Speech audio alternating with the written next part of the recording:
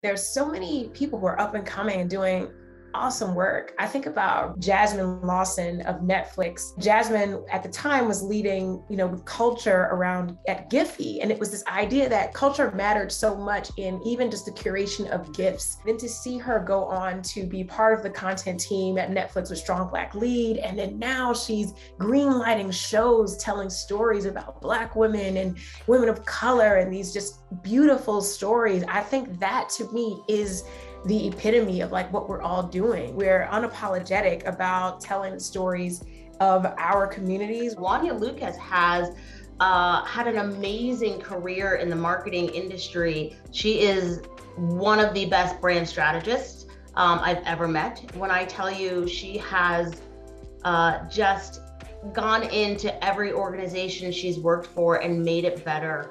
Um, I aspire to be like her one day. Someone that I admire in the industry is Esi Eggleston Bracey.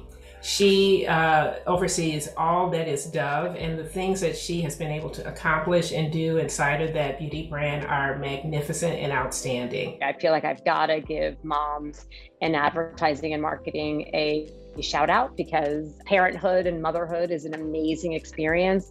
And to live that experience in this world, in the business world, is incredibly a valuable perspective. So I, I definitely want to acknowledge, um, you know, not just all the mothers in leadership, but all of the rising mothers who are who are working to attain that sort of top level, you know, leadership position. I just want to encourage them to keep going. I admire in the industry every single woman who is working hard every single day to change things for all of us, so that an industry whose primary target is women should be ultimately led by and dominated by women, especially creatively.